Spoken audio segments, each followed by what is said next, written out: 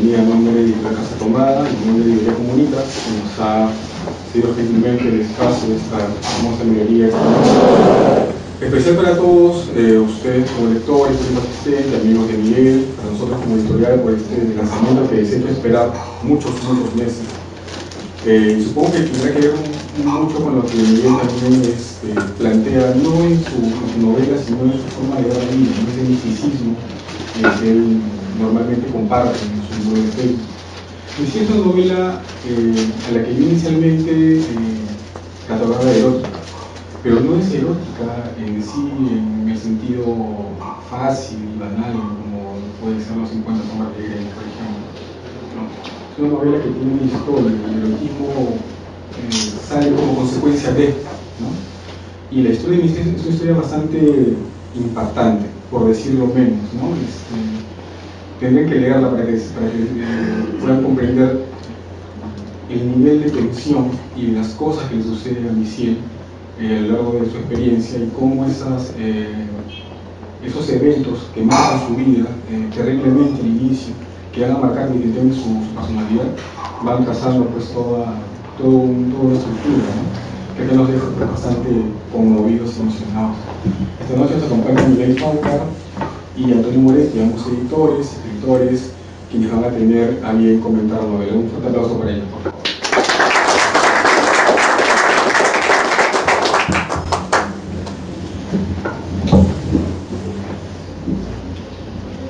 Buenas noches, eh, mi nombre es Manuel Paucar, eh, a Manu Editores. Y acá, bueno, venimos eh, para bienvenir de alguna manera a Misiel, Misiel como libro y Misiel como personaje, como alma central de una historia. Eh, para empezar siquiera a hablar de Misiel, en lo particular al haber leído la obra, al haberla entendido, al principio también mi primera apreciación fue de una historia de erotismo, que el erotismo sí eh, se encuentra, eh, pero no es el factor central. Y lo, interesante justamente de Misiel es que de un personaje acosado por situaciones extremas, se vuelve también un lienzo. Y esto lo digo porque se vuelve un una pantalla donde se proyectan las inquietudes de, más profundas de la fe, la pureza, y, pero también la parte del descreimiento y del desengaño, del desengaño hacia la fe. El claro y el oscuro, el yin y el yang, se encuentran en este personaje que queriendo y sin querer se convierte en el en el espejo universal donde se plasman las creencias y las descreencias de, la humanidad actualmente. Eh, una novela, a diferencia de un cuento, es una historia larga, llena de pequeños clímax y pequeños nudos que le dan interés a la lectura y nos hacen seguir queriendo saber más y más desde cómo comienza mi cielo hasta cómo termina ella, cuál es el, cuál es, eh, el meollo de estas vicisitudes que lograron eh, sacar de una muchacha diáfana al personaje que se volvió al final. Entonces justamente que eh, esta es, digamos, una interpretación muy personal como lector, independientemente como editor, como lector. Y como lector quisiera preguntarle a Miguel, a Miguel Valdivia, gran amigo mío, este, ¿esto es lo correcto? Eh, eh, ¿Es planteado que Misiel sea algo así como un espejo del mundo o es una, es una fantasía mía? Este, te respondo, Manuel. Ante todo, muchas gracias a todos por haber venido. A mi familia, a mi padre, a mi madre, a mis hijos por allá, amigos, compañeros y amigos del, colegio, etcétera, del barrio. Muchas gracias a todos. Este, respondiendo a tu pregunta, sí, de alguna manera mi cielo es como un fractal, ¿no? Un fractal de las personalidades que se, que se van conjugando en el mundo en sí, ¿no? Y, mi cielo a través de su personaje, no voy a contar eh, en sí el personaje entero de cielo porque sería contarles la novela, pero sí, dentro de cielo hay una, hay una gama de, conciencias, digamos, de, personalidades que se, que se, manifiestan a través de una, de una joven muy, muy joven, de apenas 23 años, ¿no? Y sí, es, es, es, este, algo muy cierto, ¿no? Es, lo que he querido reflejar en, en, la novela. Ahora, Michel tiene, eh, tiene que pasar por diferentes pruebas, eh, diferentes eh, encuentros con personajes, cada uno más ¿cómo podría llamarlo? Tremendista inclusive, ¿no? Eh, sin delatar los personajes, justamente. ¿Hay alguno en particular que tú, del, del cual tú hayas inspirado en la vida real? Yo diría que, que, todos los personajes de un escritor vienen a ser parte intrínseca de todo escritor, que, que reflejan algunas facetas del propio escritor. Pero de la vida real, me preguntas. Así, de la vida real, si has conocido a alguien, no sé. Hay, hay, un par de personajes que, que, aparecen en la novela. Uno es un doctor psiquiatra y otra es una, una monja ya de, avanzada edad que da un testimonio real, muy escueto dentro de la novela, pero que es real, sí. Ok, muy bien. Y, para finalizar mi parte, en, en tu libro hay una constante pregunta acerca de la fe, acerca de por qué creer y por qué no creer. En, ese sentido, ¿cuál es el mensaje, ya no como obra, sino como, como, tú como autor, como tu leitmotiv como obra últimamente, cuál es el mensaje que, te gustaría o quieres proyectar, que quieres eh, enviar a, tus lectores, tanto como evangelio como cristiano? Lo que pasa es que El Evangelio de Andrea es una novela, mi primera novela, y, tiene un perfil, si bien similar en cuanto al, tono erótico, tiene otro mensaje. El de Misiel es, es un mensaje mucho más conflictivo, digamos, entre las propias personas y su, su propio pensar o sentir o creer.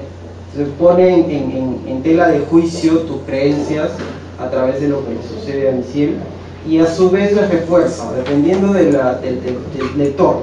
Cada lector es un mundo, cada, cada, cada, ser es un mundo, por tanto, dependiendo del lector y de cómo va interpretando eh, la secuencia y sobre todo el pensamiento de, de en base al, al, periplo que, le sucede, este, sí, por ahí iría, iría, el, tema, ¿no? Pero no puedo puntualizar porque sería entrar en la novela ahí no es la idea. Ok. Bueno, muchas gracias. Antonio, muchas gracias.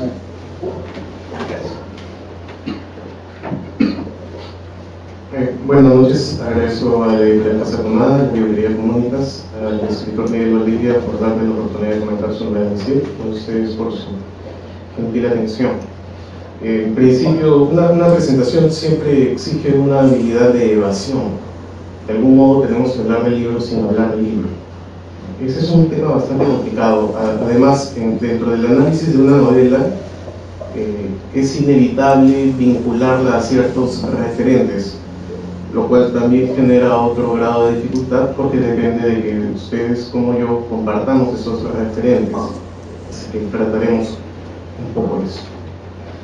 Miguel Valdivia combina tópicos de la literatura medieval con los de la literatura moderna y posmoderna explora, por un lado, el poder de la descripción para construir atmósferas sexuales y estereotizadoras, y por el otro, el aspecto psicológico de la protagonista, es decir, la causa subconsciente en la reacción de la heroína. Red ilustre el que se impuso el autor de pues es inevitable invocar a un bucayo o a un sade cuando se introduce una novela en un índice de esta temática. si así lo desean, vincularlo con autores revolucionarios como George Bataille. Tal vez este último sea más cercano, pues los personajes que se presentan en las novelas de francés tienen un elaborado marco psicológico para relacionar el actuar de sus personajes frente a las dificultades que el autor construye.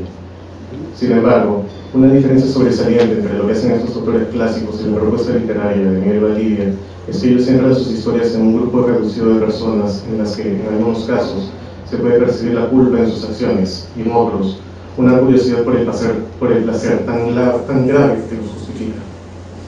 Valdivia, en cambio, nos presenta un universo en el que todos son sometidos al instinto moral del sexo. No es un grupo aislado de la sociedad con una visión alternativa de la realidad, el placer, la belleza o el amor, sino simples sujetos que no tienen una respuesta racional ante sus instintos básicos, reduciéndolos a bestias inmorales, carentes de límite o de respeto. Misil, la protagonista de esta tragedia, no tiene capacidad para enfrentar el mundo que le tocaba vivir. Y pareciera más bien que su incapacidad para confrontar al mundo está basada en lo que para muchos sería un arma irrebatible, su belleza.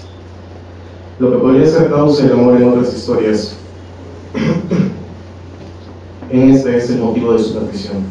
Es muy atractiva, pero por algún motivo no ha pasado por esa etapa de iniciación que pasa toda jovencita que pronto se ve sorprendida por el surgimiento de la sinuosa figura femenina. Pero salvando esta distancia, me interesa la reacción ante la belleza.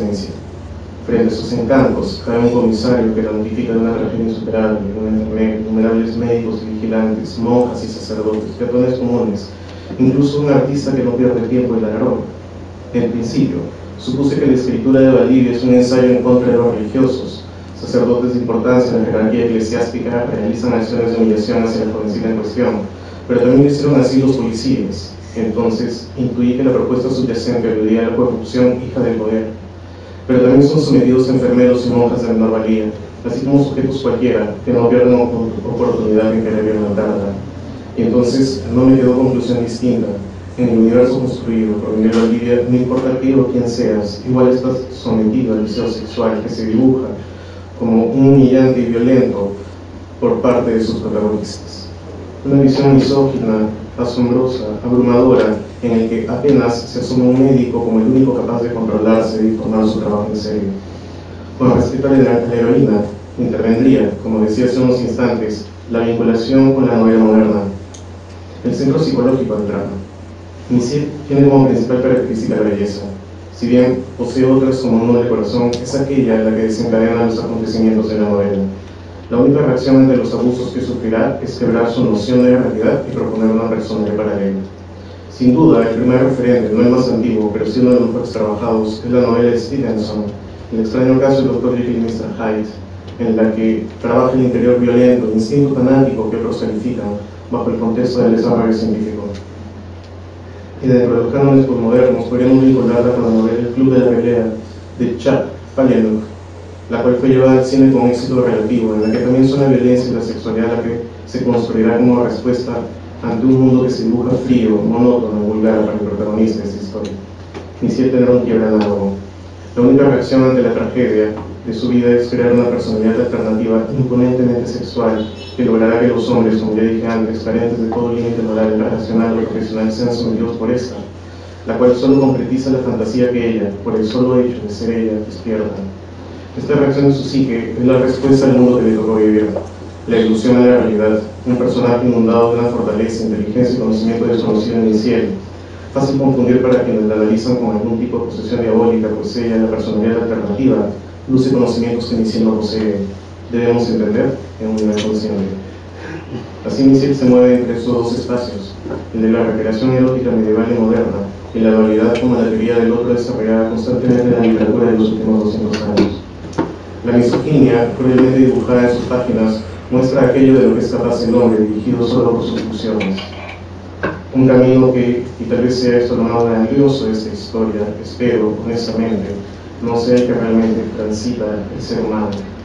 En ese sentido, la novela de Miguel Olivia es un ensayo sobre la peor de las realidades humanas, la humillación a partir del sexo y la violencia que esto genera. A mí lo que más me sorprendió de esta novela, o una de las cosas que más me sorprendió de esta novela, es la reacción generalizada. todos somos bestias, bestias morales dentro de su historia. No se salva nadie. Eh, eso me llevó a mí a hacer una pequeña encuesta entre las chicas más bonitas que conozco para ver si ellas han sido acosadas, aunque sea medianamente como mi cielo ha hecho, o mi cielo sufrió. Eh, dentro de las respuestas que estas chicas eh, me plantearon, existía sí, claro, el acoso cotidiano, constante, uno detrás de otro, en un solo día, más allá de las vestimentas, simplemente por el hecho de ser bellas. Claro, quiero pensar, eh, los hombres no tenemos que ser tan salvajes como en la novela de Miguel aparece, causa del impacto, por supuesto, en cada una de sus páginas. Pero en todo caso, eh, sospecho que tendrán mejor respuesta las chicas en la hora de leer la novela de los chicos. Gracias.